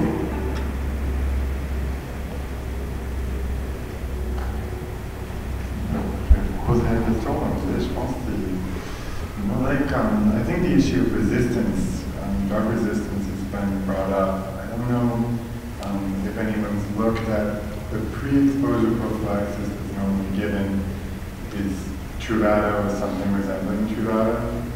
And so that hasn't been around for really that long for people to be able to test it on HIV negative patients. So I'm curious, since it's not known whether this causes drug resistance or what the long-term effects are, what, what could be the potential risks hypothetically towards administering on a large scale um, yeah, uh, actually, you're, you're, it's an excellent question. I had the slides, but I skipped them because I, uh, I didn't know if I would have enough time. But it's an important question, and actually, it has been looked at in all of the studies that I presented, the large clinical trials.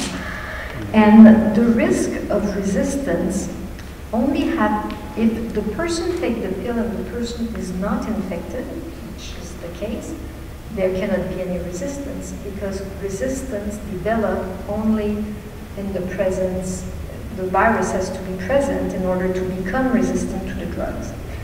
So what people have looked at is in participant, participants who became infected, those who were a failure, you know, of the trial, did they develop resistance?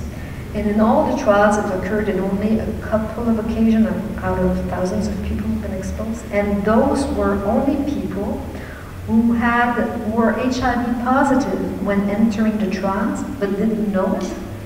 So, and they were tested and they were in this little window period. So they started to receive the pill, and then the virus became resistant because, as you all know, uh, the reason we treat HIV with three pills, with the cocktail, with the combined heart, is just to prevent the virus from becoming resistant. Because one pill is not, one drug is not good enough. The virus mutates very quickly, and it, it changes itself to be able to to, um, to overcome the, the drugs. So when you give three drugs, it's very hard for the virus to mutate and become resistant to the three drugs at once, so you can kill it.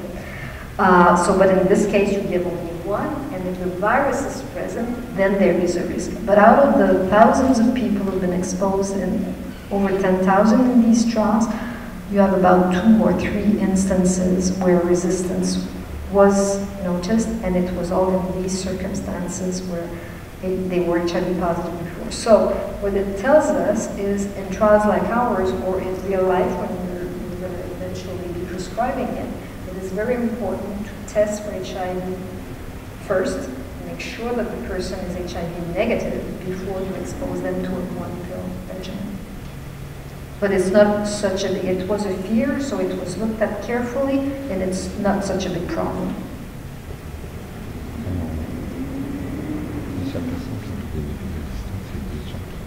Hi.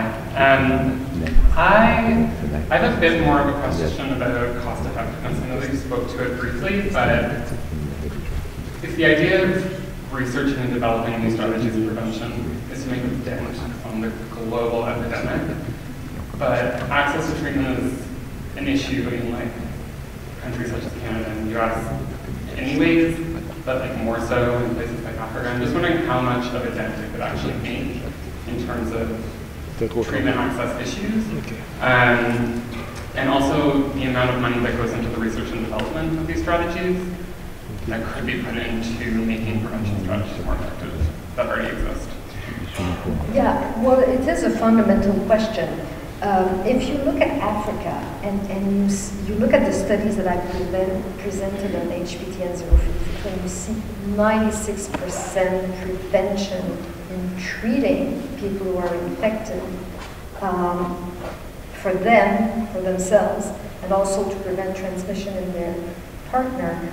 Clearly, this should be high priority in terms of where we allocate our resources, in my opinion. Um, so, uh, suggesting PrEP, although it works in serodiscordant couple, I would much rather myself treat the HIV-infected partner and put my resources there. But then there are circumstances where it doesn't work that easily. All these women don't have control over their bodies, okay, or get beaten or whatever, and they, they, so what do you do with them? How do you protect them? The, the, the partner doesn't want to be treated. So you need other strategies for other group of, of, of, of people. In North America, we do have access to antiretrovirals for treatment of HIV. So access is not a problem. So the question is, uh, is it sufficient? So are we content by saying, okay, let's put our efforts more in terms of uh, diagnosing everybody, make sure everybody know their status, and then offer them treatment. So I think we certainly need to prioritize this, but then it, it's not perfect, and, and you still have those people who don't know their status and can transmit the virus, and you need to offer some people other strategies. Um, and so I'm just wondering, when you said earlier that you had, that it was cost effective if it was used in target populations, did that also refer to places where it's endemic? So where it's not just in men who have sex with men, but it was actually, you know, like 40% prevalence. well, there have been studies by the group from Boston, Rochelle Walensky. She's done studies in, in North America and found that there was it was cost effective in a selected group of high risk men have sex with men. They've also done studies in Africa, um, Botswana, and uh, they're finishing another one in South Africa. The results are not out yet. Overall, there seems to be, uh, you know, those studies of cost effectiveness. There is a kind of a threshold where you say if the strategy costs you this and and uh, an infection costs you this, the ratio, and there is like a, a magic number. It says it's cost effective. So it's not that like this, you know, it's cost effective, but like this. So that's where the, the, the defining which group benefits the most is going to make it more cost effective because you won't use it a lot and people don't really need it a lot. Okay.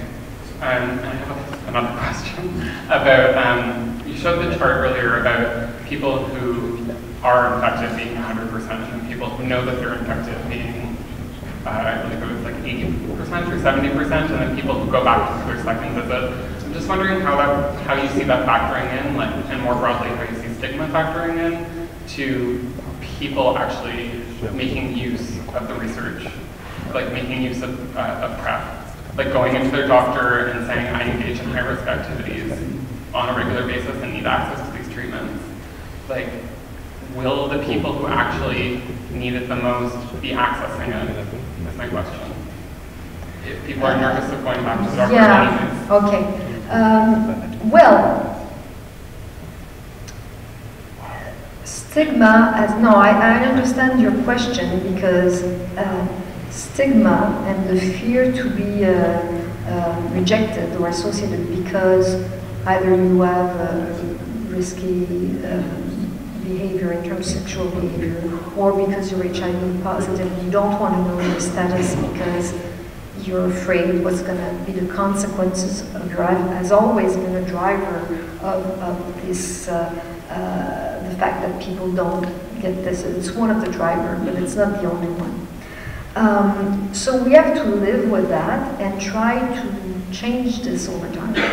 My philosophy has been ever since I came back, and it was not popular at the time, I, I would say, let's test everybody in the emergency. The lady, the 65-year-old lady, you offer her an HIV test, and she's gonna drop off her chair, and but next time that she hears in the newspaper about HIV, and she reads, oh, I got a test, so I could have been infected, she'll have a different look at HIV infection. So stigma, has, in my opinion, has decreased quite a lot in the past compared to 25 years ago to now. Uh, and the more people are open about it, the more we talk about these drugs, the more we talk on TV about, hey, some people have sex uh, often and, and, and it's okay. The more we decrease this and, and we, uh, we encourage people to, to come and, and uh, access care. Uh, but it's a, it's a process, it's a societal process, but uh, I'm against the fact of saying, you know, overprotecting people, and sometimes people um, overthink, like I have a lot of my patients, I'm not going to tell, uh, I don't, I can't talk to anybody, and they feel isolated and everything, because they're afraid that people are going to judge them and everything. And in my practice, I can count on the one man main the number of times that they had a negative reaction. Once people are con convinced and they talk to their mother or their whatever their close person, they get they don't get rejected. You know, so there is the stigma that exists is there. In my opinion, it's decreasing because all of everything, all the work everybody is doing. But there is the perceived stigma, who I think it's even more deleterious. So if we can talk to people and convince them also that it's okay, that there are a lot of people, it's not the same now, and, and release their fear, it's going to help them as well. Anyone mind if I ask another question? um, so going off of that, I'm interested in your perspective on the role that the medical institution has to play in stigma, reducing stigma, and what can be done, you know, on the part of doctors and nurses for instance, to help reduce stigma, I'm thinking specifically about um, languages around risk, for instance, and, and, labeling certain groups of people high risk versus not high risk. Um, so I'm, I'm just interested in your perspective, well, I, I, not just as the like principal investigator of the program, but as like, you know, uh, somebody who's been in the medical institution for a long time. Um, what works and what doesn't, and what kind of and what, what kind of strategies can be used to help reduce risk from, from your end? Well, it's not a label. Some people are at higher risk of acquiring HIV and some people are not. And denying this reality is like not helping people. So I don't think it's, it's, a, it, it's um, wrong to acknowledge this. It's what you do with it once you, you, you, you've realized it. So I have a, somebody in my office and um, it, it, I will have either one of the scenario, whether they are very dis discreet and they don't really want to talk about a lot about their sexual life and everything, and you have to ask questions to know, to understand. And there are the others, you put the switch on and you know the entire Friday night, including you know, the music that was playing in the club and, and whatever. so, you know, you get all kinds of behavior, okay, in, in your office.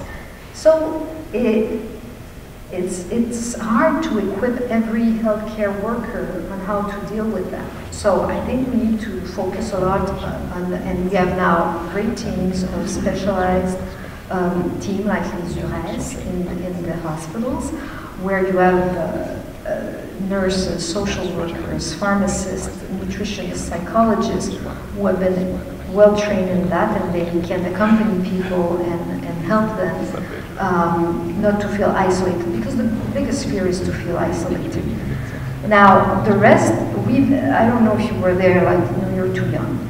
But when the epidemic started, like the, the behavior in the hospitals were terrible because people were afraid. They didn't know what it was. They would wear masks, they would wear gloves. It's not like that anymore. And, and, and you need to realize that people need also to know that people have evolved and not stay with their, their impression that everybody in the hospital is going to be mean and is going to be um, un, un, insensitive. It, it's not the case. I mean, the majority of the healthcare worker are quite sensitive. There's still a lot of work to do with, with others, like, like anywhere. Thank you.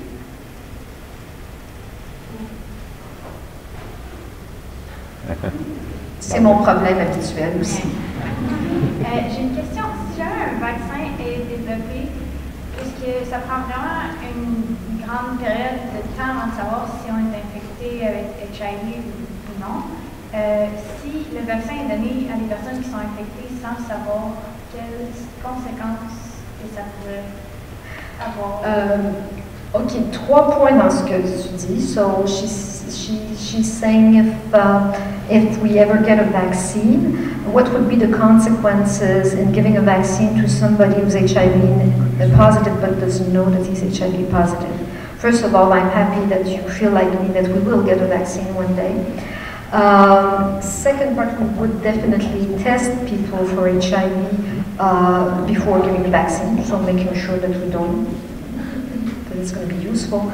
But the point that you said, I need to make a, a, little correction. It doesn't take a long time to know that you're HIV positive. From the time that you uh, have the exposure to the time that it becomes detectable in your blood that you do the test and the test is positive, because now our tests are quite sensitive to detect it, it's only a few weeks difference, okay? So it doesn't take a long time. So you could have a test, there, there is a window period, two, three weeks, it can go all the way to three months, the window period, but in most people, the test would become positive within three weeks.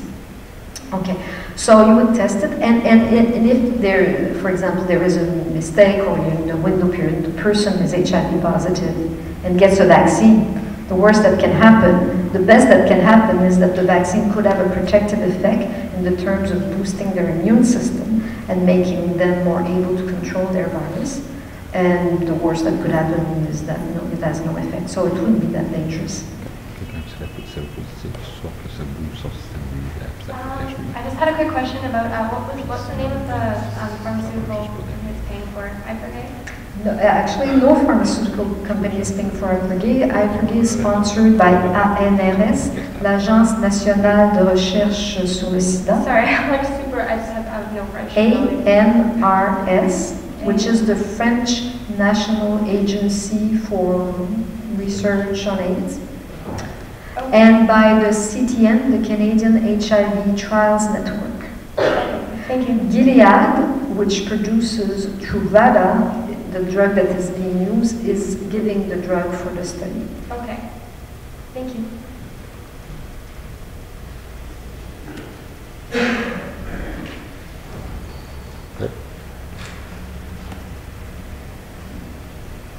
Ça a pris du temps, mais il y en a eu beaucoup de questions finalement. Right.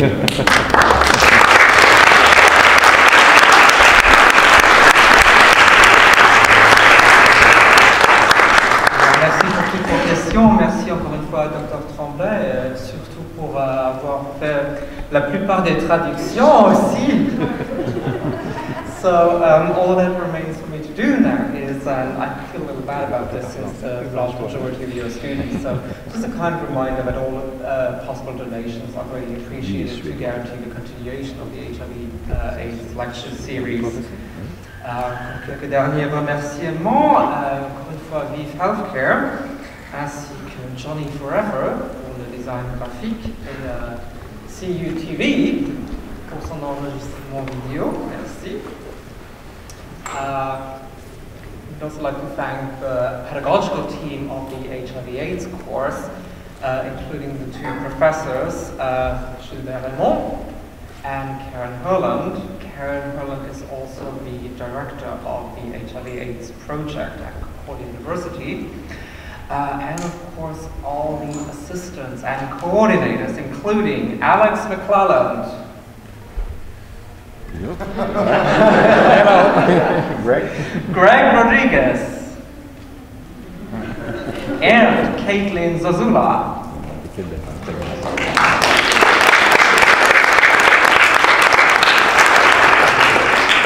And last but not least, Ian Bradley Perrin pour son engagement en tant que coordinateur de la série euh, de conférences.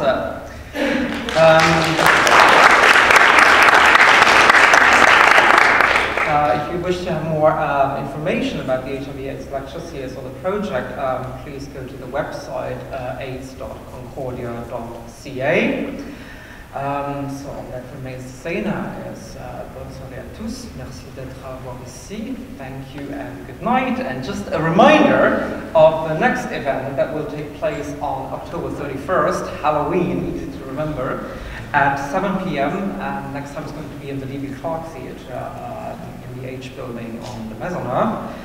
Uh, where we'll be hosting the Canadian premiere of the documentary Ruins, Chronicle of an HIV Witch Hunt, and it will be an honor to have um, the director as a special guest, uh, Zoe Mavroudi. So it will be nice to see you then. Merci à tous, bonne soirée.